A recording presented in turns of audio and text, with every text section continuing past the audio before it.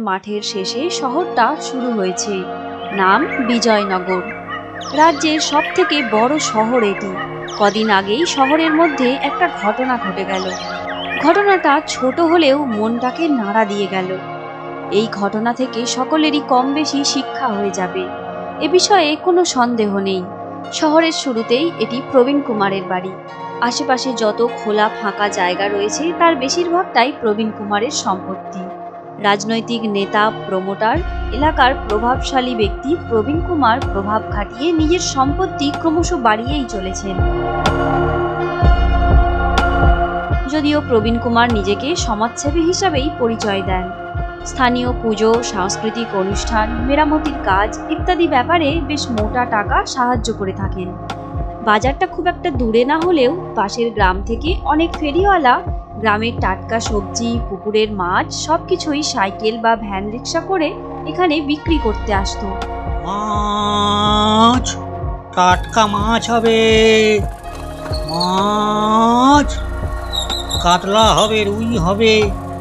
একদম জ্যান্ত মাছ হবে মাছ। ওই মাছলা এদিকে আয়। কি কি মাছ আছে দেখিয়ে যা। মাছওয়ালার হাঁক শুনে প্রবীণ কুমার আর তার স্ত্রী সোহিনী বাইরে বেরিয়ে এসছে। বাড়িতে তারা দুজনেই থাকে। একমাত্র পুত্র রাহুল তার স্ত্রীকে নিয়ে বিদেশে থাকে। ছেলে সফটওয়্যার ইঞ্জিনিয়ার। মাছওয়ালাটি প্রবীণ কুমারের ডাক শুনে তাদের দিকে এগিয়ে এলো। ওই দিন মাছ বিক্রি করে চলে যাওয়ার পর মাছওয়ালাটি আর এদিকে বেশ কয়েকদিন আসেনি। আজ আবার তার হাঁক শোনা গেল। মাছ টাটকা মাছ হবে। মাছ কাতলা হবে রুই হবে একদম জ্যান্ত মাছ হবে মাছ।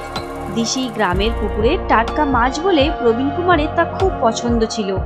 তাই পুনরায় মাছওয়ালার হাঁক শুনে স্ত্রী সোহিনীকে বলল কই গো শুনছ? তাড়াতাড়ি মাছওয়ালাকে ডাকো তো আমাদের গেটের সামনে আসতে বলো। ও মাছওয়ালা এদিকে এসো। আমাদের গেটের সামনে। বাবু ডাকছে। সোহিনী ডাকতেই মাছওয়ালাটি প্রবীণ কুমারের বাড়ির সামনের দিকে এগিয়ে এলো।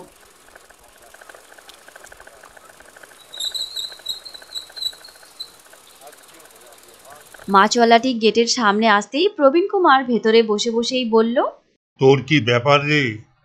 একদিন আসিস তো দু চার দিন আর আসিস না? রোজ আসতে পারিস তো? আমাদের রোজই মাছ লাগে। আসলে বাবু সারাটা দিন এই গরমে ঘুরে ঘুরে মাছ বিক্রি করতে হয়। সেই ভোরবেলা বাড়ি থেকে বেরিয়ে আসি আর বাড়ি ফিরতে ফিরতে বিকেল হয়ে যায়। তাই প্রতিদিন বেরোতে শরীর দেয় না। তারপর এক এক দিন এক এক দিকে যাই তাই কদিন ছাড়া ছাড়া হয়ে যায় আর কি। হুম বুঝলাম।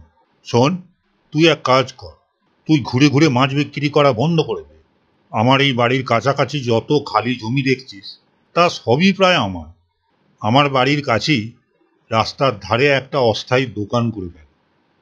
প্রতিদিন দোকানে বসেই তোর সব মাছ বিক্রি হয়ে যাবে। তোকে আর কোথাও ঘুরতে হবে না। সবই ঠিক আছে কিন্তু কত ভাড়া হবে? বেশি ভাড়া হলে আমি আবার দিতে পারব না। বাবু আমি খুব গরিব মানুষ বুঝেছেন তো? সেটা আর আমি বুঝি না নাকি? তোকে কোনো ভাড়াই দিতে হবে না। তুই শুধু সস্তা করে ভালো ভালো মাছ খাওয়াবি, বুঝলি? তাহলেই হবে। তোর কোনো চিন্তা নেই। কয়েকদিনের মধ্যেই মাছওয়ালা হরিচরণ, প্রয়োজনীয় বাঁশ আর প্লাস্টিক দিয়ে প্রবীণ কুমারের বাড়ির লাগোয়া একটা মাছের দোকান করে ফেলল আর তার ভিতরে কাঠের তাক, টেবিলও রেখে দিল। একজন দুজন করে খরিদ্দারও আসতে আরম্ভ করল। দিন কয়েক যেতে না যেতেই হরিচরণের খরিদ্দার অনেক বেড়ে গেল। ভালো মাছ আর তুলনামূলক কম দাম হওয়ার জন্য আশেপাশের অনেক মানুষজন এখানে এসে এই মাছ কিনতে লাগল। হরিচরণ, আজ কি কি মাছ নিয়ে এসেছ?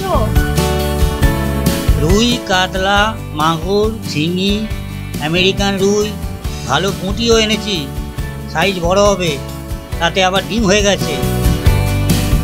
একদম সকালবেলা হরিচরণ দোকান খোলার সঙ্গে সঙ্গে সুমিনী দরজার বাইরে এসে খোঁজ নিত, কি কি ভালো মাছ আজ হরিচরণ এনেছে। সেই সব মাছ বাড়িতে নিয়ে যেতে বলতো। কোনো কোনো দিন প্রবীণ কুমার নিজে এসে দোকান থেকে মাছ নিয়ে যেত। এইভাবে প্রতিদিন সবার আগে সব থেকে ভালো আর সস্তায় প্রবীণ কুমার মাছ পেত। এদিকে হরিচরণের দোকানও ভালোই চলতো, অথচ দোকানের ভাড়া দিতে হতো না। তাই দুজনেই লাভবান হচ্ছিল। একদিন এক বয়স্ক মানুষ হরিচরণের দোকানে মাছ কিনতে এলো। হরিচরণ তাকে কি মাছ ভালো হবে তার নিজেই বেছে বেছে দিল। মাছ তো এটা ভালো ওটা ভালো করে অনেক বুঝিয়ে দিলি রে বাবা। এখন দাম কত হলো বল? ওই তো কাতলা পাঁচশো ষাট টাকা ট্যাংরা আড়াইশো তিরিশ টাকা আর মোড়লা কত দশ টাকা দেবেন? মোট ওই আপনার ওই ষাট তিরিশ দশ একশো টাকা হলো। বলিস কি? মাত্র একশো টাকা? আমি তো ভাবলাম অনেক টাকা হয়ে যাবে। ঠিক আছে। এদিকে ঘরের জানালাটা একটু খুলে রেখে সোহিনী এতক্ষণ ধরে সমস্ত কিছু লক্ষ্য করছিল। বৃদ্ধ লোক মাছের পয়সা দিয়ে তাদের বাড়ির সামনে দিয়ে চলে গেল। প্রবীণ কুমার তখন বারান্দায় কাগজ পড়ছিল। সোহিনী এসে বলল তুমি হরিচরণকে দোকানটা করার আগে বলেছিলে যে দোকানের জন্য তুমি যেমন কোনো ভাড়া নেবে না ঠিক তেমনই তোমাকে ভালো মাছ একটু সস্তাতে ওকে দিতে হবে তাই তো? হ্যাঁ সেটাই তো কথা হয়েছিল। কেন কি হয়েছে? হরিচরণ তোমাকেই সবচেয়ে বেশি দাম দিয়ে মাছ বিক্রি করে। আমি এইমাত্র জানালা দিয়ে নিজের চোখে দেখে এলাম। তোমাকে কিছুক্ষণ আগে যে যে মাছগুলো ভালো বলে দিয়েছিল, একটা বুড়ো লোককে সেই মাছগুলোই তো দিল। আর যা যা দাম নিল তা শুনলে তুমি বিশ্বাসই করবে না। পাঁচশো কাতলা মাছ ষাট টাকায়, আড়াইশো ট্যাংরা তিরিশ টাকায়, আর এক মুঠো মৌরলা মাছ তো ওজনই করল না, বলল দশ টাকা দিতে। কি বলছো কি? আমার কাছ থেকে তো পাঁচশো কাতলা, নব্বই টাকা, পাঁচশো ট্যাংরা, একশো দশ টাকা, আর আড়াইশো মোড়লা চল্লিশ টাকা নিল। আমার কাছে বেশি দাম। তোমার অনেক টাকা না? ভেবেছে বাবুর অনেক টাকা আছে। চালাকি করে একটু বেশি করেই নিয়ে নেব। তুমি খাল কেটে কুমির ঢুকিয়েছ। এখন দেখো আরও কত কি করে। তখন তো আমার সঙ্গে কোনো আলোচনা না করেই বলে দিলে এখানে দোকান কর ভাড়াও লাগবে না। এখন বোঝো ঠেলা? এখনই ডাকো হতচ্ছাড়াটা। মজা দেখাচ্ছে। স্ত্রীর কথায় প্রবীণ কুমার উত্তেজিত হয়ে গেল। স্ত্রী সোহিনী হরিচরণকে ডাকতে চলে গেল। সোহিনী ডাকতেই খরিদ্দার ফেলে হরিচরণ তাড়াতাড়ি দরজার কাছে গিয়ে দাঁড়াল। এই, শোন, আমার জায়গায় তোর আজই দোকানদারি শেষ। কাল থেকে যেন তোকে না দেখি এখানে। কাল সকালের মধ্যে দোকানপাট গুটিয়ে না নিয়ে গেলে আমি বুলডোজার দিয়ে সবকিছু মাটির সঙ্গে মিশিয়ে দেবো। দূর হোক অত ছাড়া। পরদিন সাত সকালে আশেপাশের লোকজন মাছ কিনতে এসে অবাক। এ কি? রাতারাতি দোকানটা উঠে গেল? কি এমন হলো? দোকানটা তো ভালোই চলছিল। ভালো মাছ আর সস্তা দাম। তার উপরে হরিচরণের সৎ ব্যবহার। তাই কয়েকদিন এই দোকানটা বেশ জনপ্রিয় হয়ে উঠেছিল। আস্তে আস্তে ভিড়ও বাড়তে লাগল। বাড়ি ফিরে যাওয়ার জন্য প্রস্তুত ম্যাটাডোরটা এক প্রকার ঘিরে ধরেছিল গ্রামবাসীরা। ওই তথাকথিত সমাজসেবী প্রবীণ কুমার বেগতিক দেখে স্ত্রীকে নিয়ে বাড়ির বাইরে বেরিয়ে এসেছিলেন। ভিড় থেকে একজন জিজ্ঞাসা করল ও প্রবীণদা কি হলো? দোকানটা উঠে গেল কেন? ভালোই তো চলছিল সবাই তো উপকারই হচ্ছিল। তার মধ্যে আবার কি হলো? আরে ভাই, আমার কোনো অসুবিধে ছিল দোকানটার জন্য আমি কোনো ভাড়াও নিতাম শুধু বলেছিলাম, আমার কাছে দামটা ঠিকঠাক নিবি, তাহলেই হবে।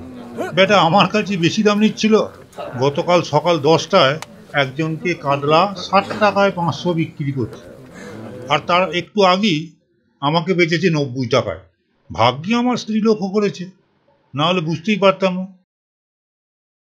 ভিড়ের মধ্যে থেকে আরও একজন জিজ্ঞাসা করল হ্যাঁ গো হরিচরণ তুমি গোবিন্দার কাছে বেশি দাম নিচ্ছিলে? একদম নয়। আপনাদের সবাইয়ের কাছে যা দাম নিতাম তার থেকেও কম দাম নিতাম প্রবীণবাবুর কাছ থেকে। কাল সকালে যার কাছে আরও কম দামে নিয়েছি তিনি আসলে পরেশবাবু। অনেক আগে আমাদের নীলাচল গ্রামে প্রাইভেট টিউশনি পড়াতেন। ছোটবেলায় আমিও তার কাছে পড়তাম। অশীতিপর বৃদ্ধা দিদিকে নিয়ে থাকেন। উনি খুব গরিব, ভালো করে সংসার চলে না। আমি অনেকবার সাহায্য করতে গেছি, উনি কিছুতেই নেননি। গতকাল উনি যখন মাছ কিনতে এলেন, তখন ভাবলাম, উনি পয়সা ছাড়া মাছ নেবেন না। তাই বেশ কিছুটা কম দাম নিয়ে আমি মাছগুলো ওনাকে বিক্রি করেছি। ওনাকে বুঝতে দিইনি যে আমি অনেক কম দাম নিয়েছি, কিন্তু আমার মনটা আনন্দে ভরে গিয়েছিল। তার ফল যে এমন হবে, বুঝতে পারিনি। বিদায় বাবু বিদায়।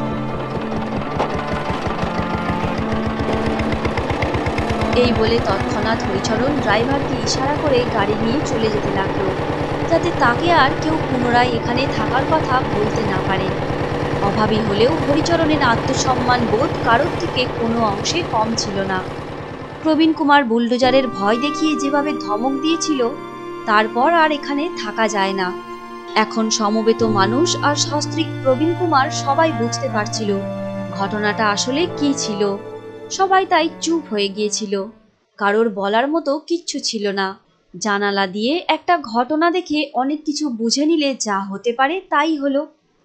সত্যিকারের ঘটনাটা না জেনে উত্তেজিত হয়ে প্রতিক্রিয়া করলে এরকমই অনেক ভুল হয়ে যেতে পারে।